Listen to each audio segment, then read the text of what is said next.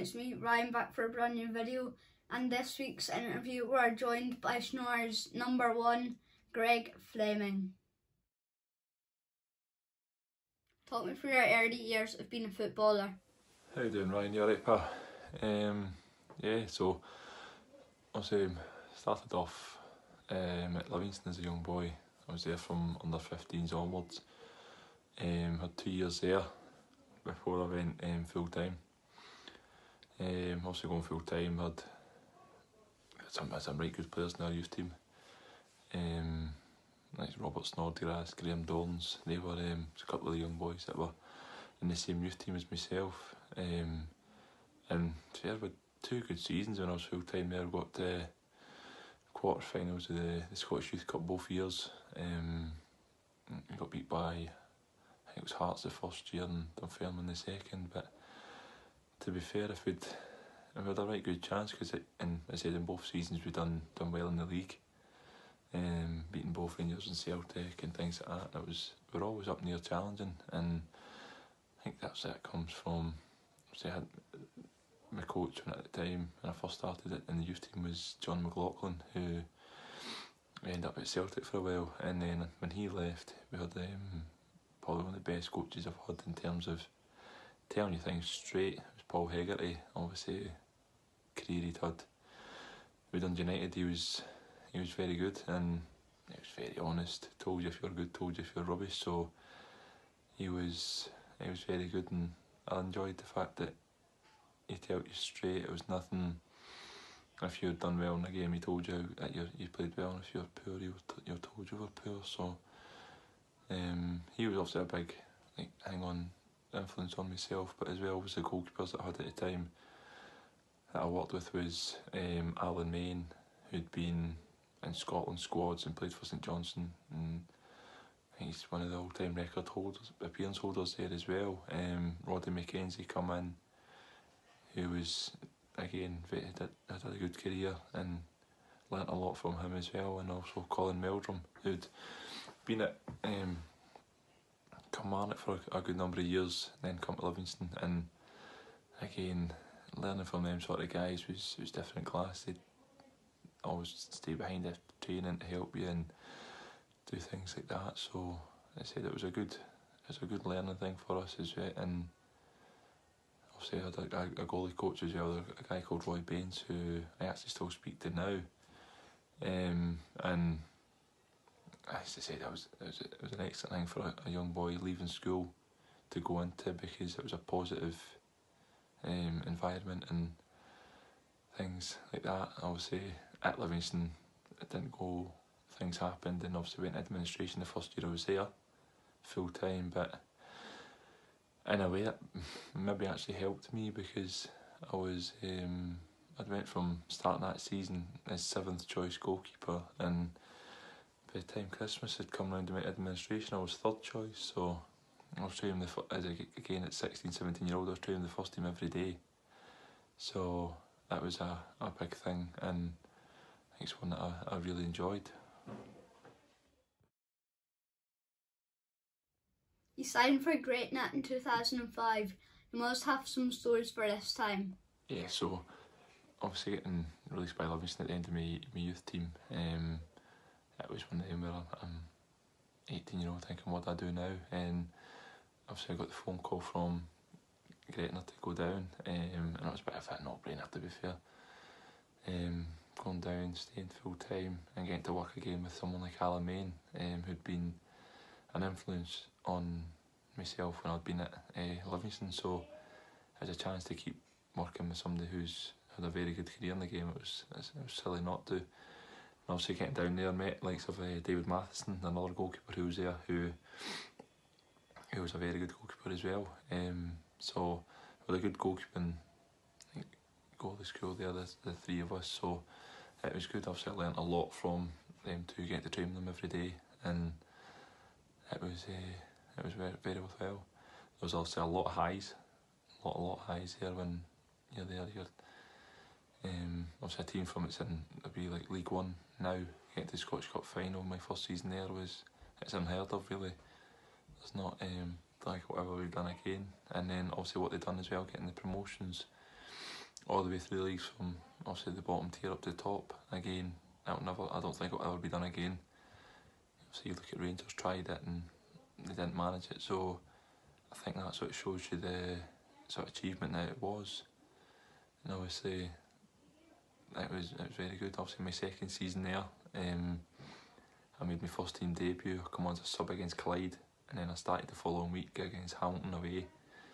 And I also got to play in the, the Scottish Cup against Hibs at Easter Road. So it was all good. Obviously, the I, thought I might have got a chance of playing the rest of the season. Um, uh, Alan Main got suspended, and I thought, well, there's a chance I might get to play. But they brought in Zibby Malkowski from Hibs, and it's a bit different learning from someone like that because he didn't really have the best of English, so it was quite tough having myself and a Polish lad try to train together on our own. Um, and but then obviously got promoted, and then as I said, it was one of them you got come back for pre-season and dearie me, I've never seen so many trialist goalies in my life. I think with a new one coming in every couple of days, I think all in all, counting it with 12 goalkeepers in on trial over that one pre-season, so there was a hell of a lot and it was tough obviously to take as a young boy, um, thinking they don't obviously rate you, but I kept my head down, keep working, kept working hard, and I had at this time it was Tony Craig had come in, and he was sort of giving us bits of advice. Keep trying, keep keep going.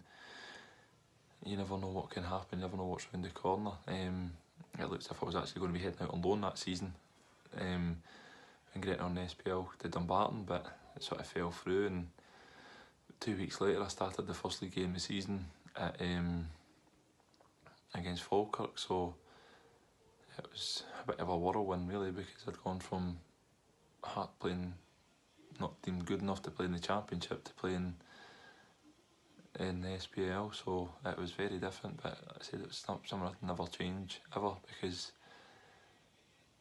at, at, that age there wasn't many goalkeepers at 20 year old playing like the Rangers, Celtic, Hibs Hearts and stuff. So it's something I've always be proud of. Obviously, there's there's obviously there's the, the lows, obviously the, the financial situation what happened with the club. Um, obviously at the time I was only a young boy, so I didn't have any commitments really. I didn't, I didn't have any mortgage or kids or that. So I think maybe in five six weeks without um, getting paid. So it was it was tough because you're coming out training every day, and you're not sure what's going on, but you're still you're still expected to train and get on with things, and but not know what was actually going on. So it's a bit of a pain.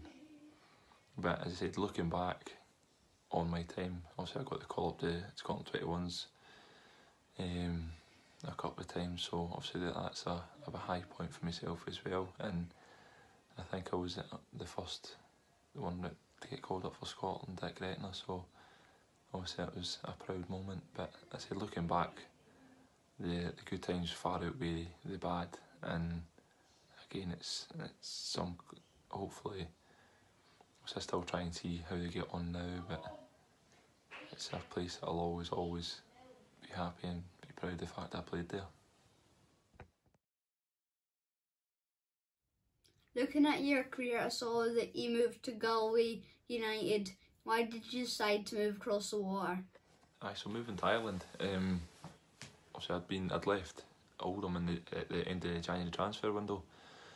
So obviously living in Manchester at the time, like I was, I had, um, I had sort of spoken to Stockport County before I left Oldham, so I thought when I obviously come to leave there, I thought, well, why not? Because I could stay in Manchester and go to Stockport. So it was one of them where I went and trained there for a couple of weeks, and finally, when I come to sign the contract, they turned around and said that they couldn't afford to give me anything. So at that time, there was there was not really much else out there. It was uh, start starting Mar- coming up to the start of March and League of Ireland was obviously just starting up, uh, to be starting the season then, so I just seen, seen it's a case of try something different, go and play from then until July and hopefully see what else could come up after that. And I said it was great. It was good to go out and play um, every week. Games on a Friday night, which was a wee bit different, not something I'd been used to.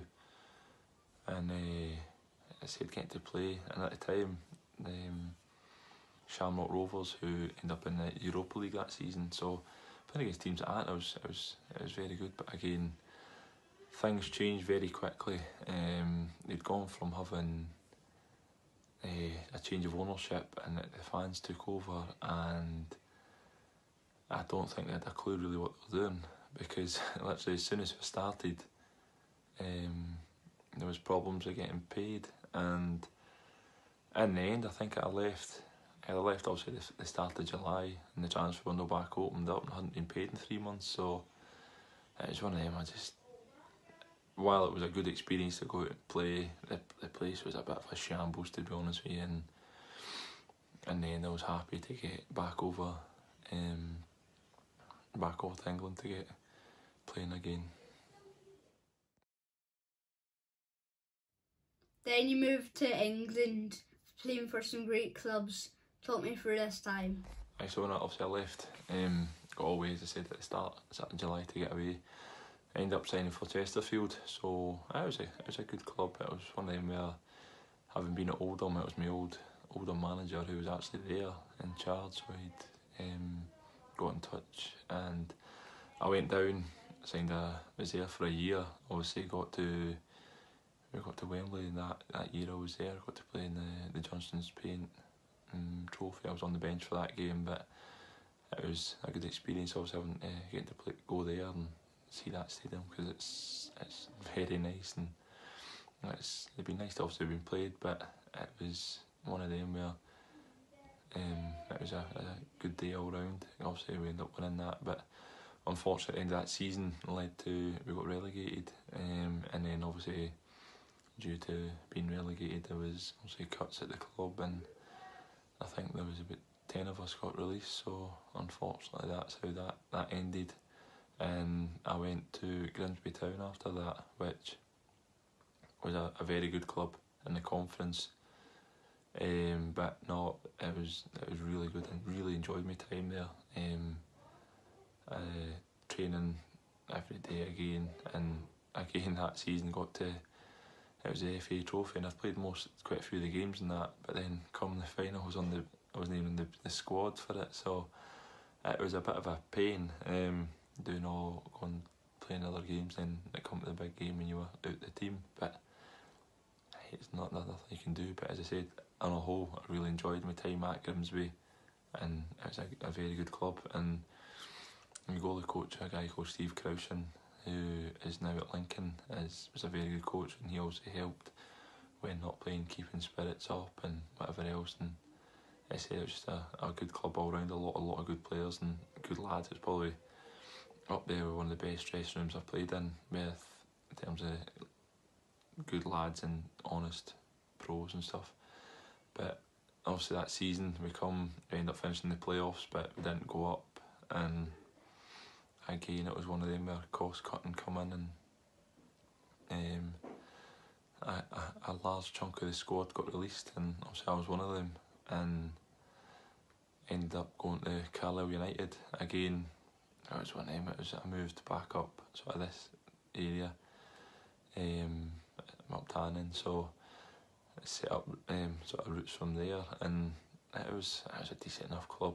Um, had a a decent enough year there, but got to play in the FA Cup. Actually got to play away to Sunderland and things like that, playing against a Premier League team at the time, um, which was obviously probably the, the, season highlight for myself, playing there against like Adam Johnson and players like that who are internationalists in every position. So it was it was a, a tough game, but we actually gave us done ourselves quite a bit credit, we got beat 3 1, but they scored a third goal, I think, in injury time, and that was obviously a, a break from us pressing, uh, trying to get an equaliser. But all in all, that season it wasn't the best personally. Um, I didn't really enjoy it there, but it's one of them where I was uh, didn't enjoy it as much as what I probably could and should have done.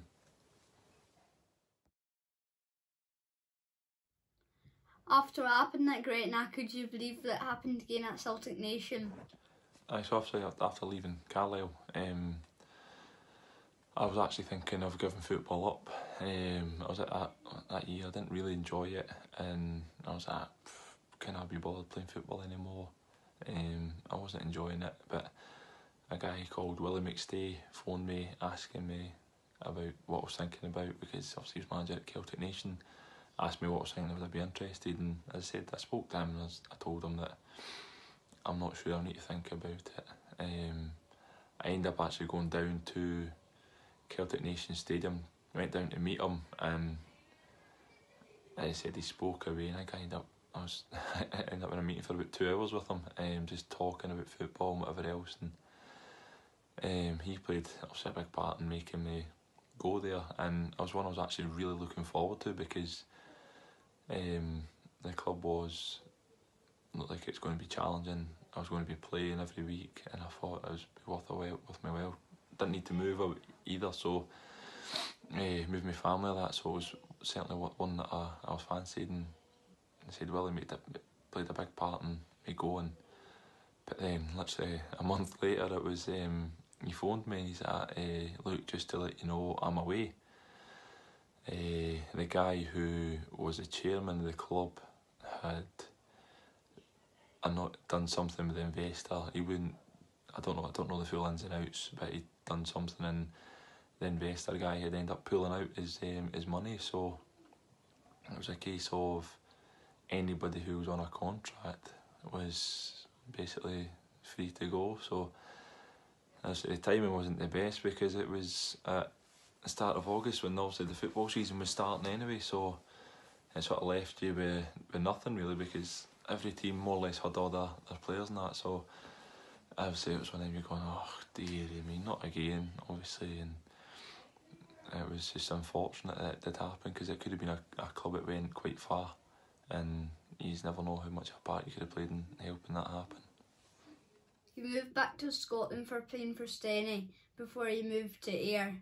Did you enjoy this time? So obviously signing with, with Steny was come about with obviously um, Jack Hamilton they signed him on loan and when Rangers played Hearts Neil Alexander broke his cheekbone so obviously Hearts recalled Jack Hamilton back from the loan spell, so obviously it left them now looking for a goalkeeper. And obviously the goalie coach at the time, a guy called Robert Glenn, who again I'm still in contact with now, a very good guy.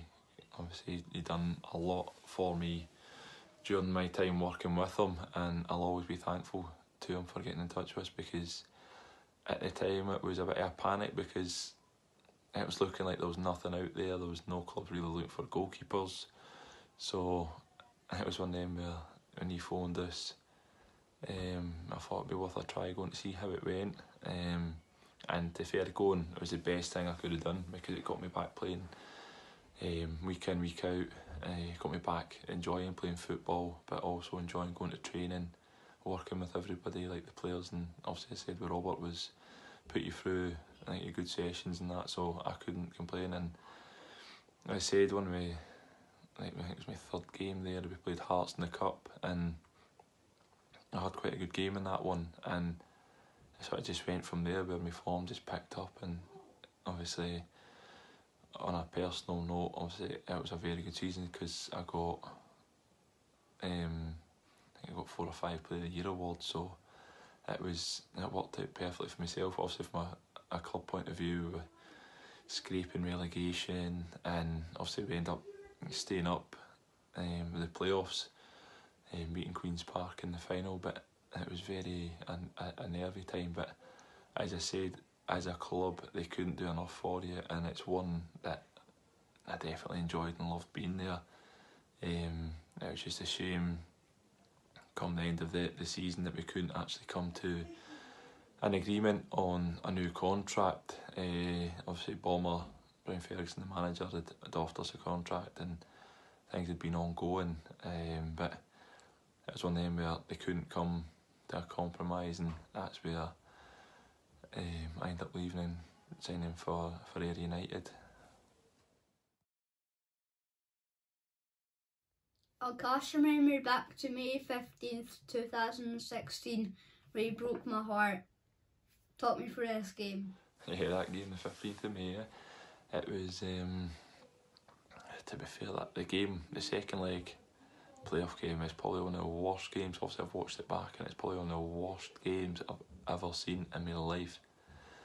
Um, obviously, you could tell it was two teams who were very nervous, but also I think we were that poor.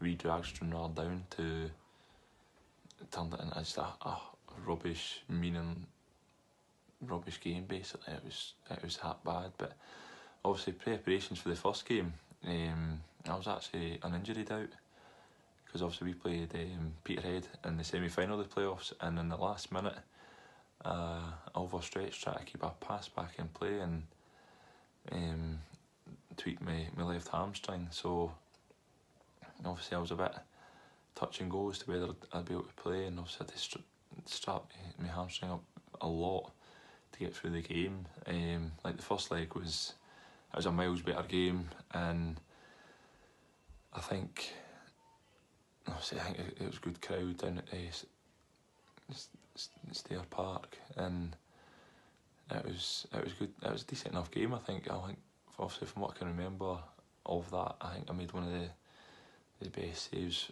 I think of I can remember in my career from Ryan Thompson. Um, the ball broke to the edge of the box, took a touch on his chest, and he volleyed it. And thankfully, I got my, my left hand tip round the post. Um, but I said it was we were 1 0 down, um, and Ross Docherty ended up scoring. I think it was the last kick of the ball to get us a, a 1 0 draw for the first leg. And then, obviously, I said the second leg, there was a big crowd at Somerset. I think there was four and a half to 5,000 fans there. And they got to see one of the worst games of football ever. Um, but at the end of the day, I think it doesn't really bother you how, how bad the game was for ourselves because we end up obviously getting up.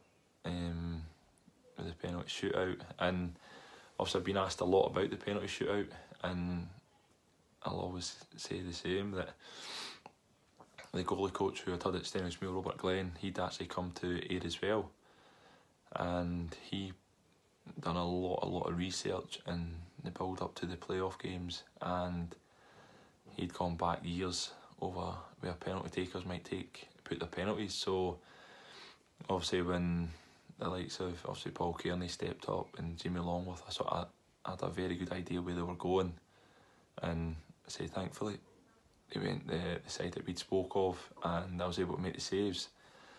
Um, obviously with David Barron, I did not have a clue where he was going, and obviously put it down the middle, and I managed to get my toe on it. And to fair, I was obviously delighted making the save, but my God, the pain going through my, I went up my foot after that was was very sore, but obviously then Ross Docherty stepped up and hit the post and you're going, oh no, here we go. And obviously Willie scores his pen.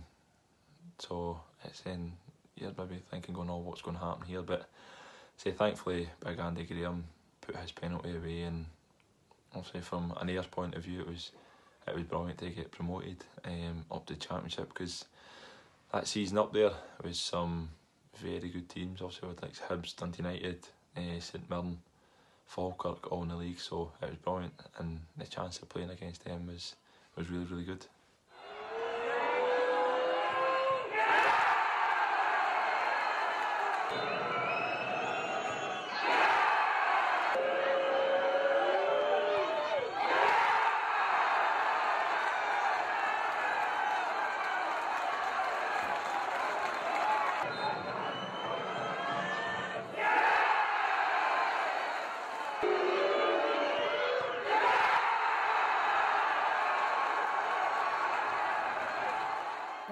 You decide to move from Ayr to Peterhead? Did you enjoy your time up north? This is the first time somebody's actually asked me about um, how it come about me leaving Ayr um, for Peterhead. I've said there's been a lot said it was for work commitments, but actually it wasn't for that at all. Um, this is the first chance I've had to, to explain. So how it come about was obviously at the end of that year when the championship and obviously we got relegated to Ayr back down to League One, the club made the decision to go full time. And obviously when I met Ian McCall and spoke, um, it was when we sort of said to us, look, this is what's happening, I know obviously with your work, but um, we'd like you to stay.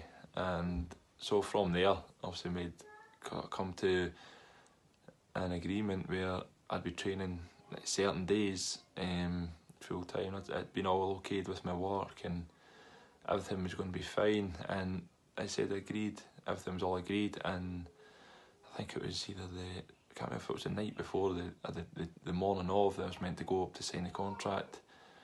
Obviously, McCall got in touch to say that they could no longer offer me what had been offered, and there was a, a large part of the agreement of the, the wage being taken off. So it'd been one of them where it'd been going on and on and on for quite a while, and it got to the stage where I just had enough, and I thought um, it's sort of taking taking the mick a bit, and I just felt maybe a, a fresh start, breaking, getting away from there was maybe the best thing for us because it wasn't. I didn't want to leave, but I felt personally from it was sort of forced upon us because anytime things were getting agreed, um, the goalposts were then getting getting moved, and uh, it was just getting very frustrating. So that's what um, led to me to to leave here and I ended up going up to Peterhead, and again it was, a, it's a, a bit of a travel, but as a club they could not do more for you. Um, there's some great folk behind the scenes there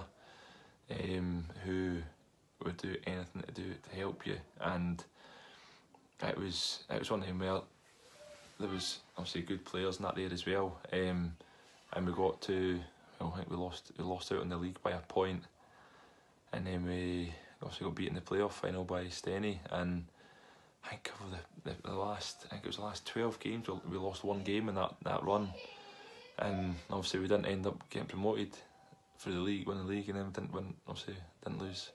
I lost in the playoffs as well, so it was uh, frustrating. Obviously, into the season, but then that was one them where it made you even more determined the following season when I obviously agreed to go back. That to go obviously go one better, and obviously the following season we managed to do that. Um, obviously took it right down to the last game. I think we only had to win one one game at our last uh, three or four, I think it was, meant that we kept losing last minute goals and um, obviously it wasn't so good, but obviously we got there in the end, won the league at Hampden, um, beating Queen's Park 2 0, so that was obviously a relief. And then also obviously come up to League One to be playing against like obviously Stranraer and Falkirk and things like that. So it was good. I said it was a good club who couldn't do enough for you, but obviously when the the pandemic sort of set in and whatever else it come to obviously the end of the season and unfortunately for the, the how, how, it ended at Peterhead because it was very poorly handled in my opinion. Um, things were sort of made up and uh, I was sort of hung out to dry a bit uh, of how what happened. So it was one of them things. But uh, as I said, looking back on the whole, it was a, a good place to be, and I, I actually really did enjoy playing for for Peterhead. Signed for Stranraer this season. Why did you decide to make the move? Obviously, yeah, when I obviously agreed to sign for Stranraer, it was one of them where obviously I'd been in contact, I've been in touch with Eric for a long time. Um, obviously since uh, my time at Ayr, I've sort of spoke to him, a text message here and there, or whenever we spoke, seen been playing against obviously Stranraer, we've had a, a good catch up and, and chatted away and stuff. So it was one of them where it was looking like Max was obviously going to be leaving, and Eric got in touch with myself to ask what my sort of plans were for next season or the season just coming up that we've just been playing in just now. So asked me what me, what I was thinking, and I was one of them at the time I was I was unsure, um, but obviously after what had happened at Peterhead, um, uh, obviously I, I was then decided I was going to be leaving, and obviously I spoke to Eric to say, look, I've left Peterhead, um, so if they obviously if they're still interested, also I would be interested in speaking with the manager. Obviously, the manager got in touch with myself and we spoke on the phone a few times, and then uh, I went and met him, and I said everything that he said. Obviously, I, I, I liked what he said and stuff, and obviously seen the players that he was signing as well. So it made it um, quite an easy decision. Also, I spoke to uh, Willie Gibson, who's actually a, a really good friend of mine, and he was obviously said that it was a, a good place to play football and there's when you're enjoying and it's going good there, there's, there's no many better places to be playing. So obviously they make, recommended me very highly to if I got the chance to sign to to sign. So obviously then that entailed what Eric and the manager both said. It was a, a no-brainer really because you want to be challenging and at the top end of the league and obviously after obviously last season it was a, a bit of a relegation fight so you want to be trying challenging again so that's how it come about and obviously I signed and it's been it's been good I've enjoyed it so far. In 2007 you chose to play for Scotland under 21s. Did this make you proud?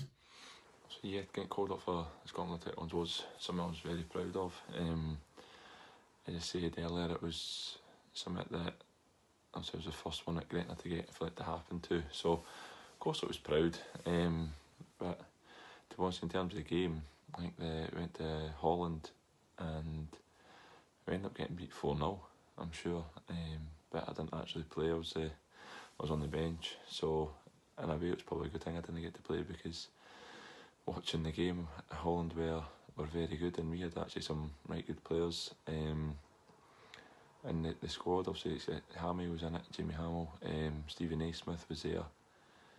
Uh, try to, I'm trying to remember who else was. Um, for the top of my head, I can't really remember. And, but all what what I can remember was Holland were, were very good that night, and um, they had some some right good players. But I said it was something I was very proud of, and it was it was um, something I look back fondly on. What's your ambition for the rest of the career? So for the rest of my career, I'm not too sure. Um, obviously, I'm 34 now, so I'm not too sure how many years I've got left of playing. Um, and obviously, all I do is I take each year as it comes.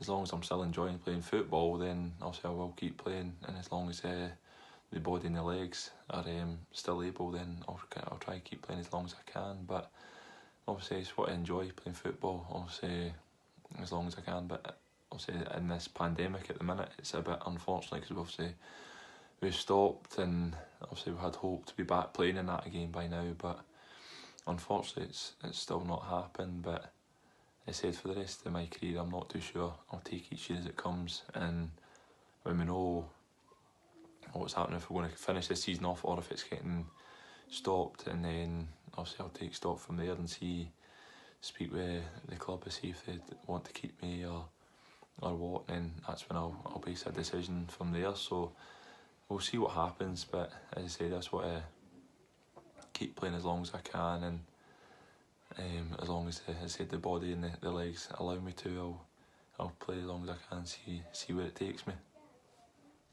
Who's best play against and why? I would have to say um, Michael Owen is the best player I've played against. Um, he was coming back from one of his knee injuries and he was playing for Newcastle at the time and we played um, at Gretna we played a, a friendly against Newcastle at their training ground and for somebody who's sort of his first game properly back he was so sharp in and around the box, his movement his, and stuff was was ridiculous. And as you can see, obviously from his career, he's had um, some of obviously his finishing was was quite good as well. Obviously, I played against him again later on in my career when I was at Oldham. We played a, a game against Man United at their training ground. It's like a bounce game against. Obviously, I'm there, and again in that game, the movement, um, his finishing again is ridiculous. So I think I'd have to say that he was the best sort of striker I've played against. Um, obviously, you look at the career he's had. Um, he was a, a very, very, very good player. What's best one to eleven players you've played with? So obviously for the my one eleven for the, the best players that I've played with, um, I've gone for formation of a four two three one, and in goals it was actually quite a tough choice because there's been quite a few um, good goalkeepers that I've sort of worked with and So I had a choice of either say Mark Crossley, Mark Gillespie or Jordan Pickford. Um, but for me, the best one was Mark Crossley, who I was with at Oldham and Chesterfield. He uh, he was there when I first went down to England and somebody for obviously the older generation who's played at Nottingham Forest for most of his career in the English Premiership and stuff. Played in Europe for them and was also a Wales internationalist. Um, also a really good guy, so I'll go for Mark Crossley as my goalkeeper. Um, right back, I've gone for Nicky Devlin, who I'm sure many of the Stranraer fans will remember from being at Ayr United um, when I was there. And obviously, Nicky had everything you need basically for a fullback. He's big, strong, fast. He could get up and down the pitch easily, and he was also a good player. Um, for left back, I've gone for Joe Jacobson, who I played at Oldham with, who is now the captain at Wycombe in the English Championship. Now, this guy, his left foot was unbelievable. Um, he's probably got the best left foot I've seen, and for me, he's just a good athlete up and down the pitch, and deliveries from set plays were second to none. The two centre halves, I've gone for Sean Gregan, who was a centre half when I was at Oldham. Um, another guy who's played a lot of his career in the English Premiership, um, and he was just a very good player. And to be fair, the, the year when obviously we played together at Oldham, we played against like the Leeds, Huddersfield, Leicester, and there wasn't one striker who got the better of him. Um, he just basically used to bully the strikers, and he was he was very good.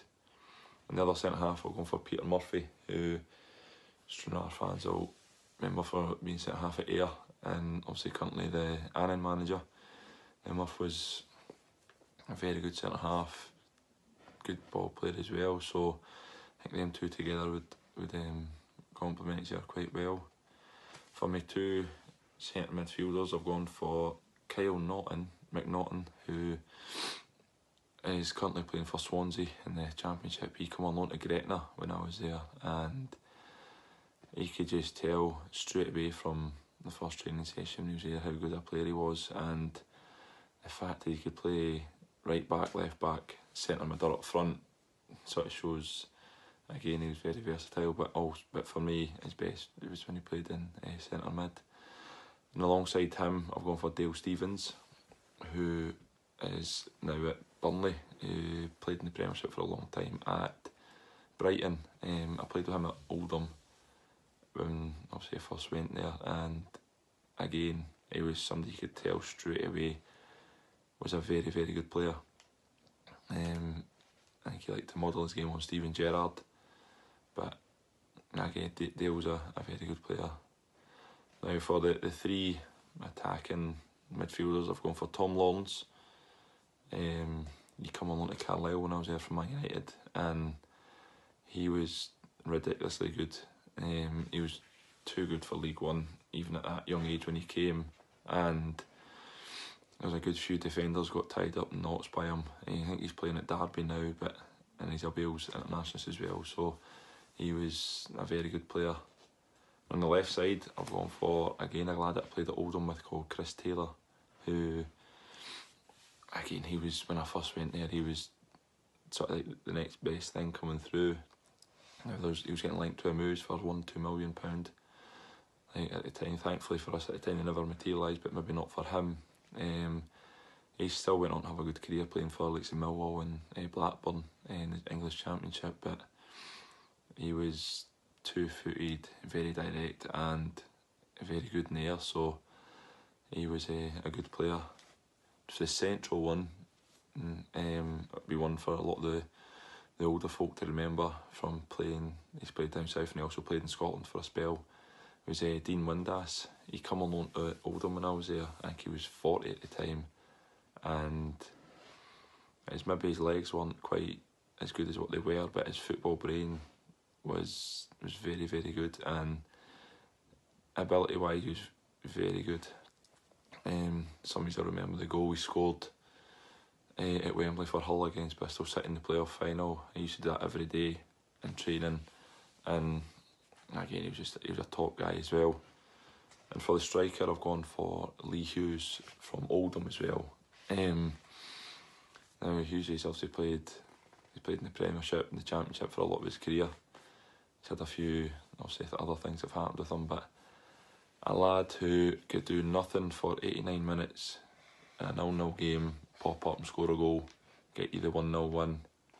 I think my season at Oldham, uh, when he was there, I think he scored 18 goals by February and then he picked up a few injuries and then went out on loan because he wouldn't agree a new contract. So I think that sort of tells you what he was just an all round good goal scorer. Thanks, Greg, for this week's interview. I hope to see you at Stair Park soon making the best saves. And everyone, remember to like, subscribe, and share, and hit the bell symbol next to the subscribe button so you get notified when I post another video. And I'll see you all in the next one. Peace.